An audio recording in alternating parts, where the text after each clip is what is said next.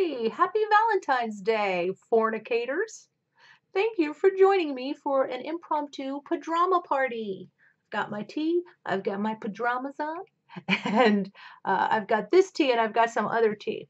What a hellacious day this was. I'm not even sure where to begin with this because I haven't thought too much about it before I'm filming, but I have to. Okay, you will hear the name Stephen Mango in this video, but it's not about him. However, it will come up. You remember I did a video about him where I said he didn't give people credit for the clips that they gave him. He didn't link anybody. Well, there was a woman in there that I would have gone to her channel sooner, but I didn't know who she was because he didn't link her. But I saw her yesterday, and it was called Heart of a Poet, or the heart or the art of the of a poet. I think it's Heart of a Poet. It's hard to say now because her channel's gone, and I went to look it up, but I think it was Heart of a Poet um, she had a great video up. I hadn't seen her before, but she was talking about having been involved in that and said a lot of the same things that I had said. She had some of the same observations and she got a laugh out of it too.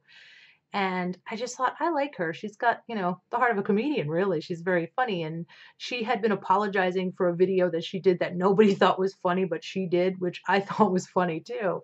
Uh, even though I hadn't seen the video, I was amused by her having to apologize because she did it in kind of a quirky way. And I thought that was funny.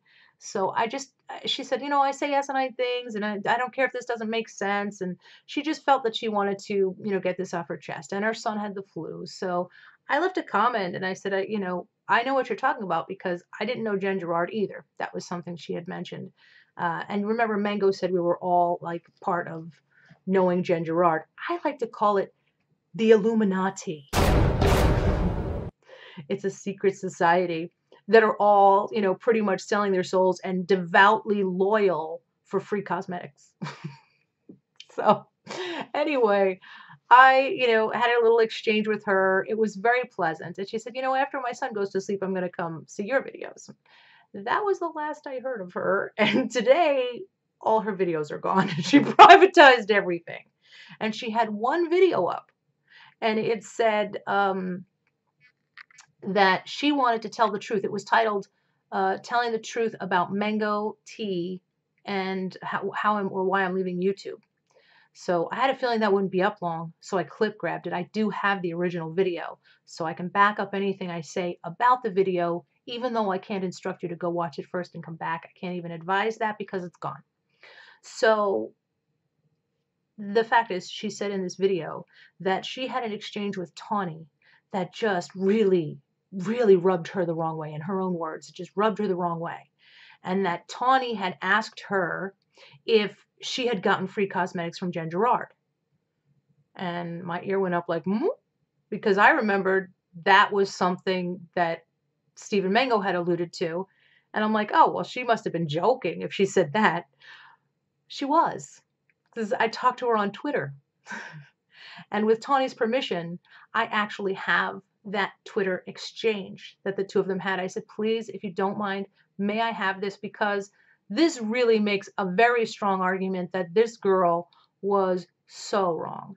Now, her video's down, but if anybody saw it and believes her, or if anybody else uses that video, and Art of the Poet, if you Heart of a Poet, if you're watching this, I want you to understand how wrong you are, how wrong you were in your assumption. Like I, when you people see the tweet, you'll see for yourself how misconstrued it was. I mean, it even ends with LOL.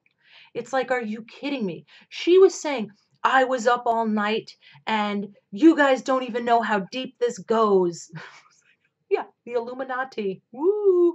Anyway, Tawny, she says, I'm not trying I'm I'm not trying to throw her under the bus, or I'm not throwing her under the bus. I'm like, what are you talking about?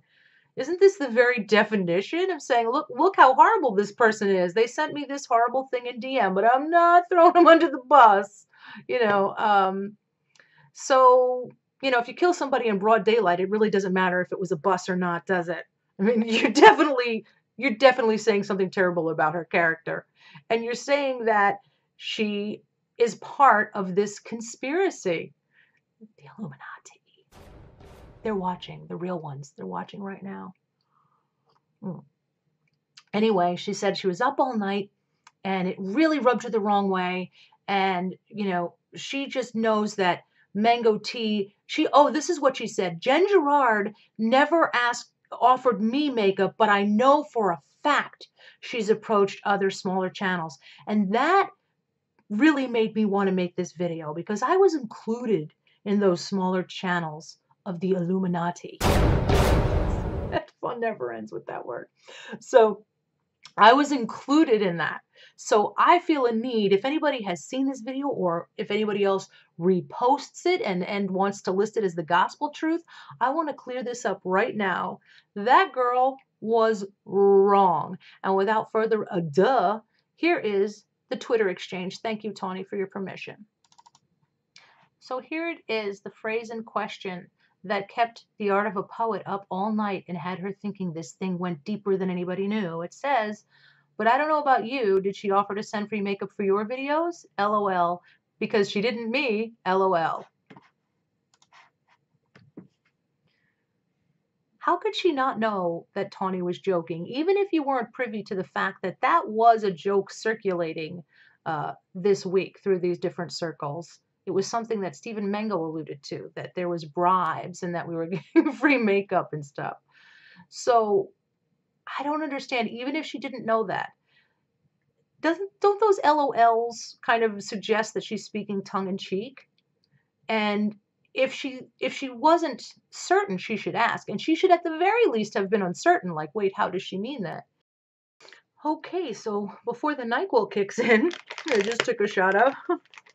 I'm gonna uh, take off my makeup while I do the rest of this video, and I hope you don't mind if I do a little night nighttime get ready with me. That works out conveniently, considering I just really need to get ready for bed. Because I get up bright and ugly, Mama Squirrel's got to earn a nut. So let me tell you what I do know for a fact.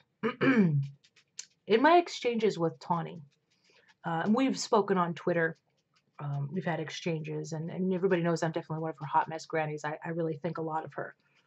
Um, Tawny's walking like she's talking because remember in her videos she said you don't have to like all of the same people that I like. She's amongst those of us who are kind of frustrated with people who just make you draw that line in the sand and you're with them or against them and that really, you know, sometimes it starts out like it's everything's okay and then, you know, things build a little bit and tension builds and then tension builds and then all of a sudden it doesn't take very much to piss them off because you are on the wrong side, right?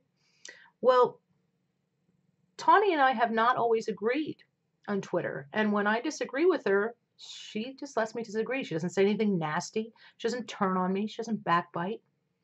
She's been very reasonable for, you know, a 26 year old woman. She is a grown up. A lot of us think of her as a kid, but I think she's 26. Correct me if I'm right, Tawny, but I think you're 26. Um, so, yeah, I just, I really appreciate that about her. That's not a quality that's so easy to find, especially uh, and the divisiveness of YouTube these days. And I felt really bad for her. I don't know, maybe I haven't done her any favors. I mean, I'm a small channel, but you know, I have, I found that the people on this channel, um, over 400 subs, and I really appreciate you. Thank you. Uh, they have been, I mean, you guys, your comments are better than my vlogs. There's just really intelligent, nice people have come to my channel, and I'm so grateful. I really am profoundly grateful. And I feel that you're all smart and uh, uh, you can figure these things out for yourself. And that's why I presented this. If anybody wants to see the clips, uh, sorry, my eyes are like stingy. I'm just so clipped over you. Uh, if anybody wants to see those clips, it may go up at some point, but I might be able to like privately send them or something, or maybe unlisted or something.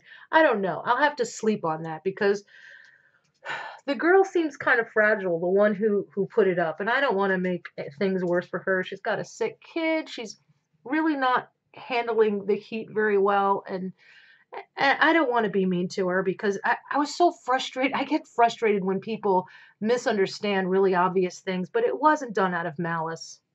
Um, and I hope that she comes to see that. Apparently, there was something like that before where she had done another video and said she was sorry and took it down and now this, I just feel like, you know, she said in her video yesterday that she didn't get a lot of heat from uh, Mango Tea's fans. I don't know if that changed or if she just felt like uh, she didn't want to go up against somebody with a, a bigger channel. I don't know. Um, bigger than hers anyway. It's all perspective. I know that's to some people it's a small channel, but It's bigger than a lot of them, probably bigger than most.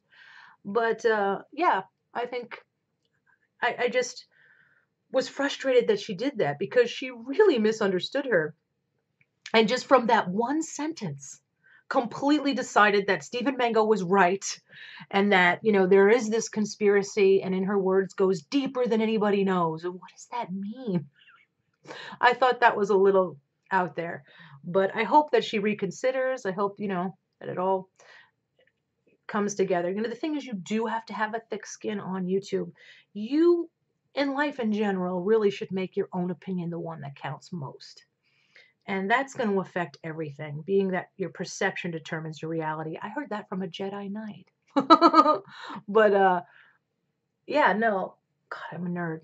So I, I really think that that's true that your perception determines your reality. And if you have a thick skin, you don't just say, I don't care what people think. You really don't care. It's not what people say to you, it's what you do with what they say to you. If everybody in the world compliments you and you don't agree, those compliments don't really mean anything because all of this must come from within. On my other channel, I had somebody say something horrible to me when I was like a brand new vlogger. This was when I was on Wise Apple. And that person said, uh, Didn't I see you down at the docks giving blowjobs for $15?